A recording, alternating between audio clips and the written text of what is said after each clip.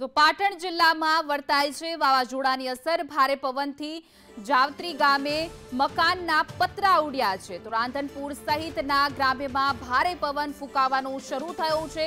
બિપોર જોઈ વાવાઝોડાની ધીમે ધીમે અસર વર્તાઈ રહી છે. જેમ જેમ આગળ વધી રહ્યું છે, તેમ તેની અસર રાજ્યમાં વર્તાઈ રહી છે. દરિયા કિનારા વિસ્તારોમાં તો વર્તાઈ જ રહી છે. આ સાથે જ રાંધનપુર વિસ્તારમાં પણ ભારે પવન ફૂંકાયો છે પાટણમાં અને ત્યાં મકાનના પતરા ઉડી ગયા છે. તો ભારે પવન સાથે વાવાઝોડાની અસર દેખાઈ રહી છે. આપ દ્રશ્યોમાં જોવો છો, પવન એટલો જોરથી ફૂંકાયો કે મકાનના પતરા ઉડી ગયા છે અને સાથે ધૂળ અને ડમરીઓ પણ ઉડતી નજરે પડી રહી છે. તો હવામાન વિભાગની જે આગાહી કરવામાં આવી છે તે પ્રમાણે રાજ્યમાં તેની અસર વર્તાઈ રહી છે. દક્ષિણ ગુજરાત અને આ સાથે સૌરાષ્ટ્રમાં કચ્છમાં ભારે વરસાદની આગાહી કરવામાં આવી છે. આ સાથે એસીથી પંચ્યાસી કિલોમીટર પ્રતિ કલાકની ઝડપે પવન ફૂંકાવાની પણ આગાહી કરવામાં આવી છે. વાવાઝોડું કચ્છ અને પાકિસ્તાન વચ્ચે ટકરાવાની સંભાવના વ્યક્ત કરવામાં આવી છે. ત્યારે ગુજરાત પાસેથી પસાર થઈ રહ્યું છે. ત્યારે તેની અસર અનેક